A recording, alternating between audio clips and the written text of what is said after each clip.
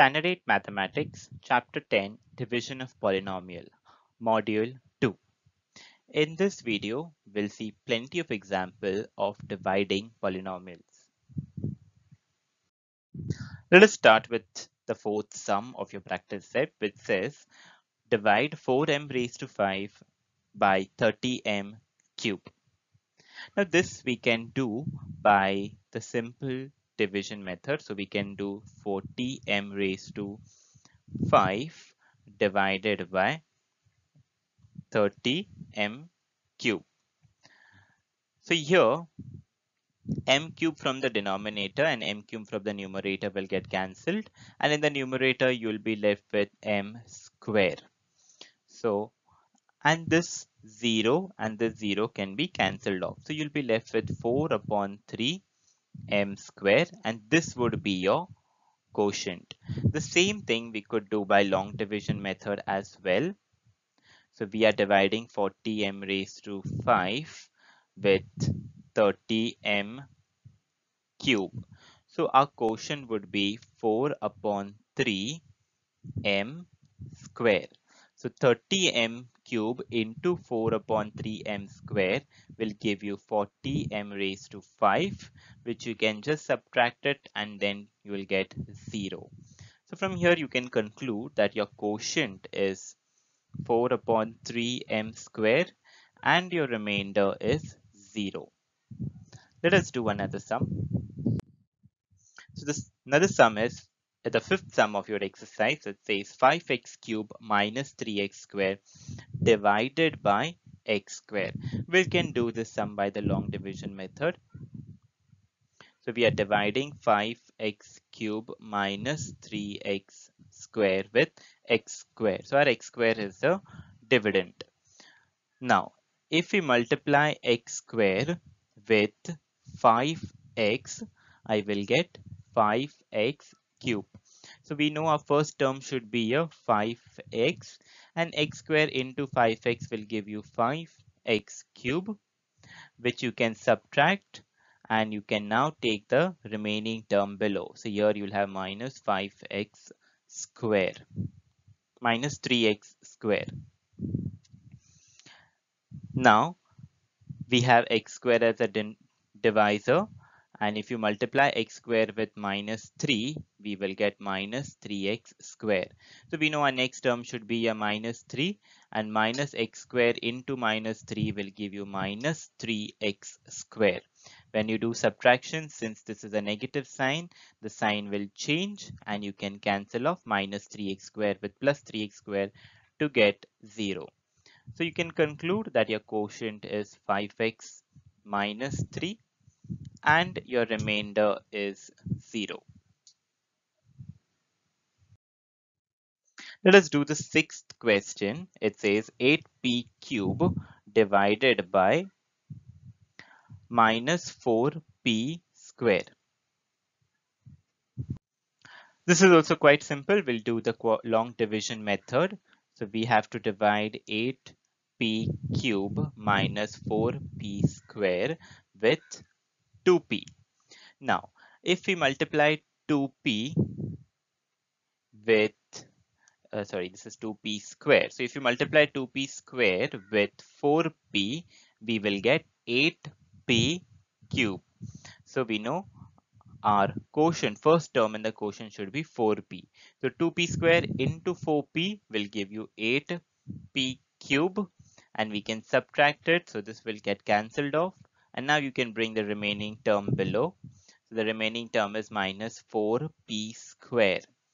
Now to get minus 4p square, you have to multiply 2p square, that is your divisor. If you multiply it with minus 2, you will get minus 4p square. So we know our next term should be minus 2 here and minus 2p into minus 2 will give you minus 4p square. And when you do the subtraction, since this is a negative sign, the sign will change and you can cancel minus 4p square with plus 4p square and your remainder would be 0. So we can conclude our quotient is 4p minus 2 and the remainder is 0. Let us do the seventh sum that says 2y cube plus 4y square plus 3 divided by 2y square. Again, we'll do use the long division method.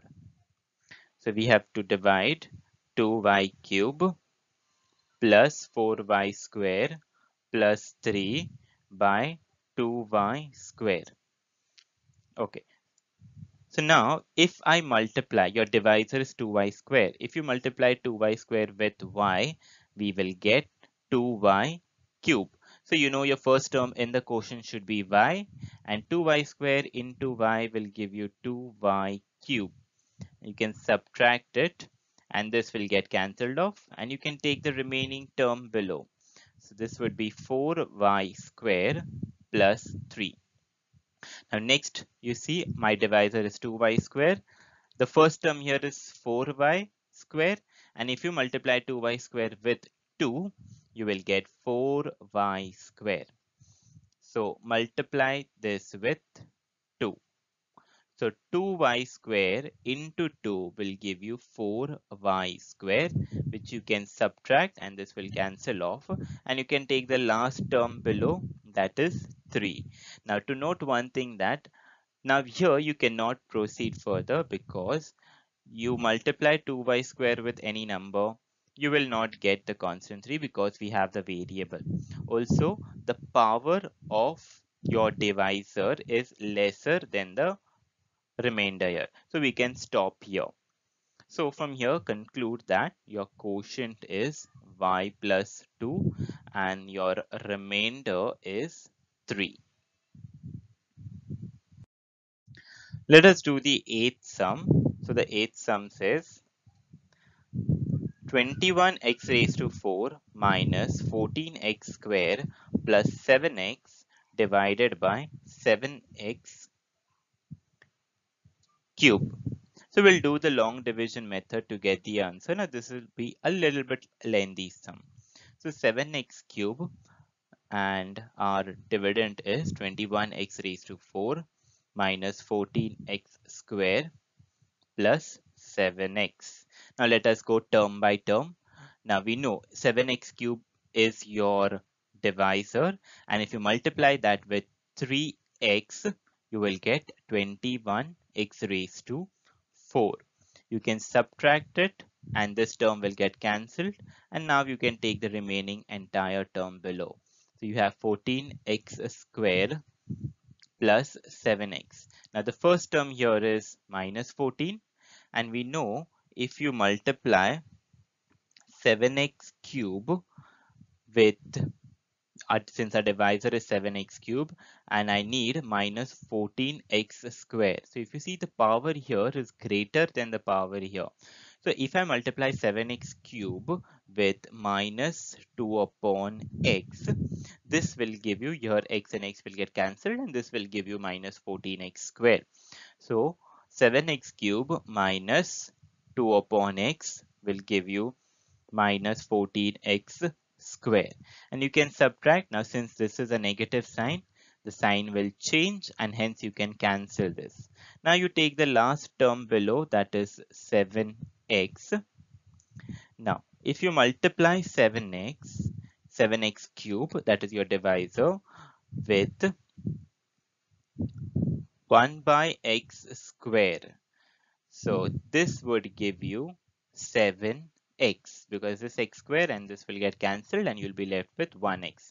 So here I can write minus plus 1 upon x square. So 7x cube into 1 upon x square will give you 7x which you can subtract and your answer would be 0. So from here we can conclude our quotient is 3x minus 2 upon x plus 1 upon x square and your remainder is 0. Let us do the ninth sum that is 6x raised to 5 minus 4x raised to 4 plus 8x cubed plus 2x squared divided by 2x. So we'll do this by the long division method. So we have to divide 6x raised to 5 minus 4x raised to 4 plus 8x cube plus 2x square by 2x square. So if we multiply 2x square with 3x cube, so 2x square into 3x cube will give you 6x raised to 5 and we can then subtract this. So 6x raised to 5 and minus 6x raised to 5 will get cancelled off. And you take the remaining entire term below. So minus 4x raised to 4 plus 8x cube plus 2x square. Now next if you see the first term is minus 4x raised to 4 so here if I put minus 2x so 2x square into minus 2x will give you minus 4x raised to 4. And now since you're doing subtraction and this is a negative sign, the sign will change and you can cancel this off. Now you can take the remaining two terms down. So that would be 8x cube plus 2x raised to 4. Now the first term is 8x cube. If I multiply 2x square with 4x, you will get 8x cube. So here, if I put plus 4x, so 2x square into 2x square into 4x will give you 8x cube, which I can write it here. Now you subtract this, so this will get cancelled and the last term now you take down. So we'll have 2x square. Now here we have 2x square and we know 2x square if you multiply it with 1 you will get 2x square itself and then you can final subtract it to get 0. So you can conclude that your quotient is 3x cube minus 2x plus 4x plus 1 and your remainder is 0. Now let us do division by a monomial. So we're dividing a polynomial with a monomial, which is very much similar to our previous example. Now we have to divide 25m raised to 4 minus 15m cube plus 10m plus 8 by 5m cube. So we'll, let us do the long division method. So by long division method, so here we'll have 25 m raised to 4 minus 15 m cube plus 10 m plus 8. We have to divide it by 5 m cube. So let us start. So if you multiply 5m cube with 5m, so 5m cube into 5m will give you 25m raised to 4, which you can subtract it now. So this will get cancelled now you take the remaining term below. So you'll have minus 15m cube plus 10m plus 8. Now our next here the first term is minus 15. So here if I put minus 3 minus 3 so 5m into 3 5m cube into 3 will give you minus 15m cube. So 5m cube into minus 3 will give you minus 15m cube. And when you subtract it, since this is a negative sign, the sign will change to plus and you can cancel this off. Now you take the remaining term below. So you'll have 10m plus 8. So the first is 10m. Now if you multiply 5m cube with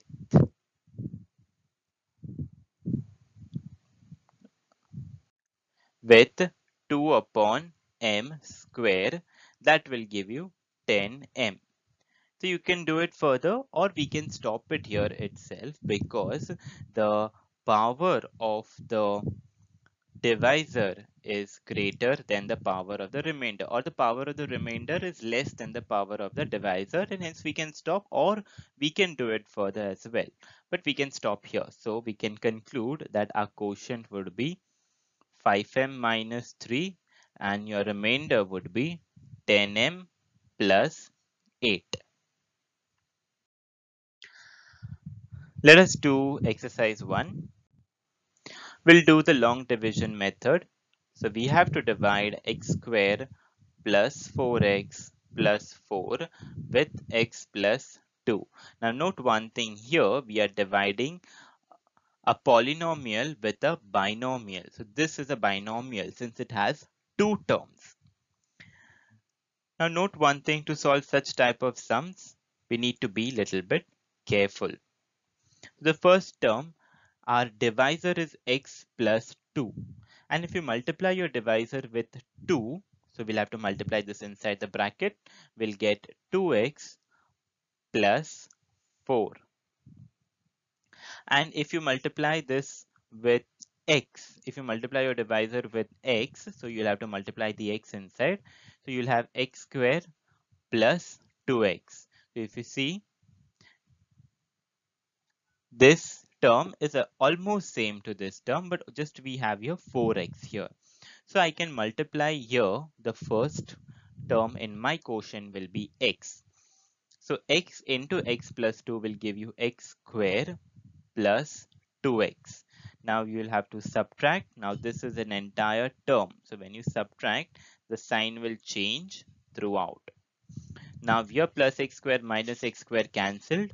4x, 4x minus 2x will give you 2x and this last term you can take it below so it will be plus 4 now if you see here x plus 2 if you multiply it with 2 you'll get 2x plus 4 which is very much similar to this. So I can write here plus 2 and I can multiply this entire x plus 2 that's my divisor with 2 to get 2x plus 4 and you can subtract the sign through subtract and change the sign throughout so it will get cancelled and your remainder is 0 so we can conclude that our quotient is x plus 2 and our remainder is 0 let us do the sum of practice set 10.2 that is dividing a polynomial by a monomial. So here again we'll use the long division method. So we have to divide y square plus 10y plus 24 with y plus 4. Now if you see if you multiply your divisor with y.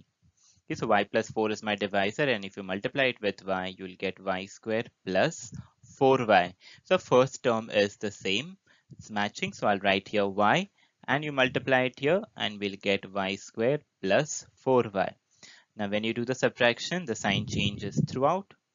So this plus y square and minus y square cancels and you'll be left with 10y minus 4y which is 6y. And this last term you take it below which is plus 24. Now you note one thing, your divisor is the same, y plus 2. If you multiply your divisor with 6, you will get 6y. 6 into y, 6y, and 6 into 4 will give you 24. So you know your next term in your quotient should be plus 6.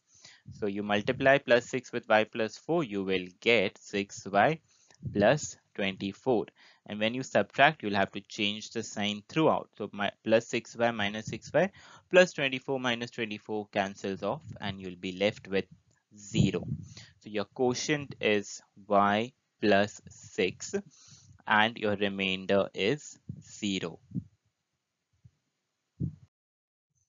let us do the second sum of the practice set that says dividing p squared plus 7p minus 5 with p plus 2 so again, we are doing long division. So p square plus 7p minus 5, you're dividing it with p plus 3. Now your divisor is p plus 3 and if you multiply your divisor with p, you will get p square plus 3p. So we'll do that. So our first term in the in the quotient would be p and you multiply it with p plus 3 to get p square plus 3p. You subtract so the sign will change throughout. p square and minus p square will cancel off and you'll have 7p minus 3p which is 4p. Next you take this minus 5 down. So you have 4p minus 5.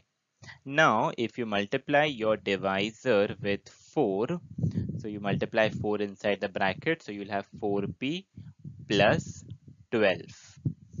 So the next term in the coefficient would be plus, in your quotient would be 4. You multiply it with p plus 3 to get 4p plus 12. Then you subtract and the sign will change throughout. 4p and minus 4p will cancel off and you have minus 15 minus 12 which will give you minus 17. So this would be your remainder. So your quotient is p plus 4 and your remainder is minus 17. That's it for this video. Thank you.